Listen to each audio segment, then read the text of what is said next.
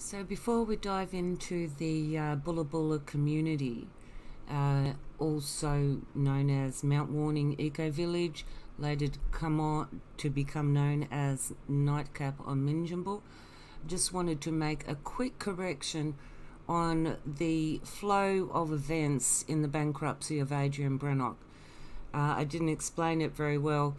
That on the 19th of June, there was a hearing set where the bankruptcy notice that had been issued on him by the tax office was going to be heard by the courts as to whether it would stand or not. A week before that, on the 12th of June, was when uh, Adrian Brennock's solicitor, Rose Litigation Lawyers, would have filed the two affidavits that are listed here, along with the uh, uh, notice to set aside the bankruptcy notice. Then, subsequently, that triggered the court hearing date from the 19th of June to be adjourned and a new court date listed. And because uh, court dates have to be from 28 days of the notice, uh, it has to be 28 days from the 15th of June when it was sent out to the Commissioner of Tax and thereby the 14th of August is the date set to hear the original bankruptcy notice application and to also hear the counter that uh, Adrian Brennock put in. The counter that he put in to get the notice, the bankruptcy notice set aside, was dismissed, and the standing matter of the bankruptcy notice was finalised by consent. So that's just a quick clarification on the way I explained that. Before we get into uh, talking about the Bhula Bhula community and how it's uh, how it all started, because it started back in 2014 with a couple. Uh, the man involved is putting forward his affidavit and from his perspective on how this couple uh, approached this. This man's name is Andrew Cody, and his statement is as follows from the affidavit that has been notarized and is a legally sworn statement. So the statement, the affidavit statement by Andrew Cody, dated the 20th of August 2019, states the follows. I, Andrew Cody, hereby affirm 1. In 2014, I had been looking for land with my partner to start a community. I found some very, value, very suitable land at Mount Burrell, New South Wales, 3222 Kyogle Road and 3200 Kyogle Road, both being sold by the same vendor, and as they were on separate titles with one holding, together seem perfect for our project as the land at 3222 could be used as private community land and the caravan park and the commercial district at 3200 Kyogle Road next door could be used by the community as a public interface and income to go towards improving the community as a whole in the future. So, me and my partner put our best offer in to purchase the land, and it was refused. Point 2. Meanwhile, I attended a Freedom Summit in Brisbane, organised by Mark Darwin and Adrian Brennock. In the summit, Mark Darwin gave a speech where he mentioned a community he was starting in Bellingen, New South Wales. I arranged to meet with him at another date with the idea of using him as a mentor to help me understand better at what it was I was going to have to do to set up my own community. Mark Darwin agreed to meet with me. After several meetings with Mark Darwin, taking advice on setting up my community, I mentioned my vision for the land that I was trying to obtain 3222 and 3200 Kyogle Road. Point 3. At one of the meetings soon to follow, Mark Darwin said the community in Bellingen had fallen through. So Mark Darwin said that he had a community now with no land, and I had land but no community. So we teamed up, which to me seemed perfect as it would put me many more steps ahead of achieving my goal of setting up a community I had dreamed of doing. So I invited Mark Darwin to come and see the land at 3222 and 3200 Kyogle Road, which he did, and I showed him around. Point 4. I introduced Mark Darwin and Adrian Brennock to the real estate agent that I had been dealing with on the with on the land at Mount Burrell, and from that point on, Mark Darwin and Adrian Brennock took over the, the negotiation process for the purchase of the land on behalf of the community and myself. Point 5. After seeing the land, Mark, da- Mark Darwin was keen to te- team up and impressed me with how AB, Adrian Brennock, and himself had already had a legal structure for a community worked out and set up, which I thought was great as it would save lots of time and energy on setting up our community project. So I agreed to let Mark Darwin and Adrian Brennock look after the financial and legal side of things. Point 6. So we teamed up and soon after we formed the steering committee that would later consent, uh, consist of nine unit shareholders working together, promote and help setting up the intended community. The steering committee of nine were Mark Darwin, Adrian Brennock, and myself, Andrew Cody, Tamati and Sarah, who had been involved in the Bellingen community and to my understanding had already um, paid their 40000 to Mark Darwin to be a part of the Bellingen community that then were later invited by Mark Darwin to the Mount Burrell Community Project. George and Sue, who later pulled out before we acquired the land and was replaced with Stephen and Kelly, Craig Scott, Manuel Agus, and also Nariah and Evan, Cherie Stokes, who apparently all contributed superannuation towards buying the commercial district on behalf of the community in exchange for a lot entitlement on Bhula Bhula. Something similar was also done with Mark and Bex, who paid some money with the balance from superannuation being held in, in a self managed super fund under the commercial property as well, which was said would be part of the community and would not allow shareholders outside the community to hold more than 49%, which would give the community members 51% control. This would ensure that the community would own it altogether and maintain control of it for the future. Point 7. In practice, the steering committee was kept informed of progress with marketing, sales of block entitlements and associated meetings with the real estate agent and potential new community members.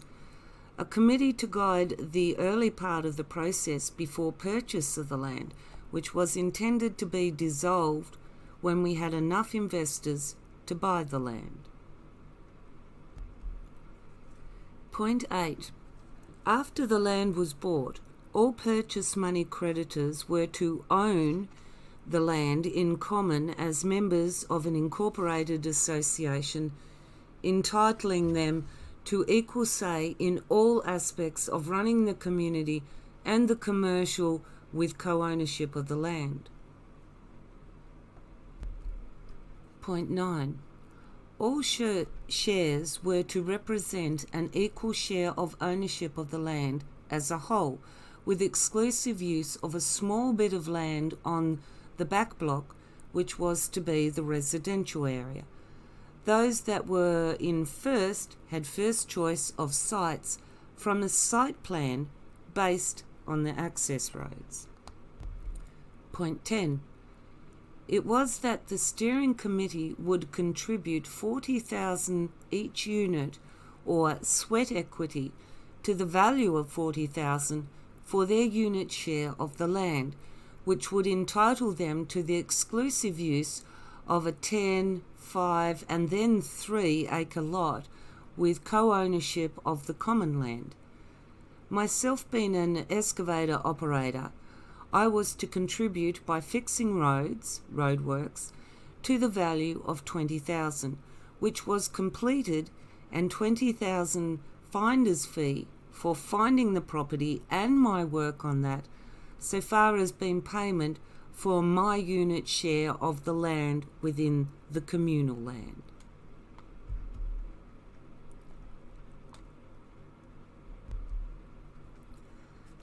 Point 11 we, the steering committee, plan to sell more shares to investors, by which time 5 acre shares was deemed to be a better block size, which was later reduced to 3 acres for each investor. At this stage, draft deeds were apparently being written up by Adrian Brennock and Mark Darwin and Roth Wall, and development applications, we were told, were also being done. Several investors bought in Manuel Agus, Stephen and Kelly McSween, Richard Moat, Mark Bloomer, Philip Morandini, uh, Craig and Holly Stewart, oh, Craig and Holly, Stuart Newman, Ron Berry, and more. At this stage, we had paid the deposit for the land and were focused on the marketing. Point 12. All discussions about the community legal structure were quickly dismissed by Mark Darwin and Adrian Brennock, Brennock, who argued that this could only be done once we had the land and the investors who had paid for the land could have a say in how the Constitution would be written, and this should be done by consensus after land purchase once we had a quorum of co owners. Point 13. The legal legwork was to be done for us by Mark Darwin and Adrian Brennock, who claimed to have it in, all in hand and had been having multiple meetings with lawyer Roth Wall who was the community lawyer responsible for the legal side of the purchase, as well as contracts and conveyancing. Our involvement in this process consisted of hearing reports from Mark Darwin and Adrian Brennock. Point 14. There was no discussion at this stage around Adrian Brennock and Mark Darwin being paid for legal or marketing work as this was to be considered the sweat equity donated in lieu of paying the 40,000 for the exclusive use of the 3 acres and community land share. They said they would be mentioning the community at their next Freedom Summit and did not discuss anything regarding costs. Point 15. More investors came over the course of the next months. Mary Lou, Narira Nevin, Melissa, Brian, Phil Dixon, Mark and Beck, Gillian Norman, Nate, Star and Terry, Nicole. And uh, several people, including myself, moved onto the property and began work to improve the land to make way for their permanent residence on the land. Point 16. Rothwall came to one of our community meetings on the land explaining the many benefits we could exploit in regards to help getting our development applications approved for rural land sharing through council with ownership of the commercial precinct and could extend it to the front title. Point 17. At this stage, we had enough investors' money to buy the land, yet we were told by Adrian Brennock and Mark Darwin in June 2015 that they had arranged a loan in order to have enough money in the kitty to build a community centre and improve access, and people were agreeable. This loan ended up being for 600,000, which we did not find out until much later and was told this was to fix the bridge, some of the roads and build the community centre. None of this eventuated. Point 18. Everyone was looking forward to the next phase, where we would have a proper communal framework and committees were already forming to administer the many different aspects of the community project. Mary Lou was put in charge of finances. She was to be given the books, uh, which took in, took an inordinate, inordinately long time to not happen, raising suspicion and with repeated calls for financial transparency by many meters, uh, members at meetings. Point 19. This issue became quite heated as investors were keen to see money being spent on infrastructure. Then, in December 2015, without any valid reason, Mark Darwin and Adrian Brennock announced to the unit holders that there was no money left in the kitty to pay for anything, which seemed very strange as there had been no talks on how the money had been spent and nothing to show for it. As we, the community, had been expecting to buy materials to fix the farmhouse, roads, the bridge down the front, and build a community centre hall, or on the land and we were not being told that all the money had gone. Point 20. From this point, relationships between some of the unit holders deteriorated rapidly, especially towards Mark Darwin and Adrian Brennock for their non transparency on finances, withholding what should be financial community owned records which then in time resulted in everyone being evicted from the land. We were told that the land had gone into liquidation due to lack of finances. Without anyone being given repayments for their money, they placed in care of Mark Darwin and Adrian Brennock to purchase the land, purchase the commercial land, and establish the correct community structures for in house community law, build the community centre, repair the bridge, and to carry out other needed work on the land. And there ends the sworn statement of Andrew Cody and his series of events, very brief uh, summation of what occurred over the few months uh, from the beginning to the Freedom Summits in 2014. These also play a very big part.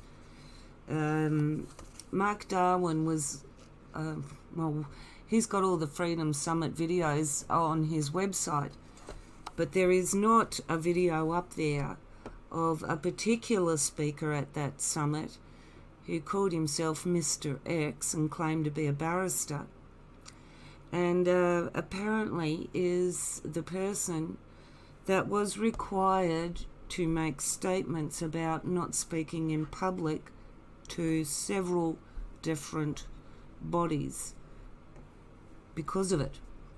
And the taxation office made him bankrupt over it.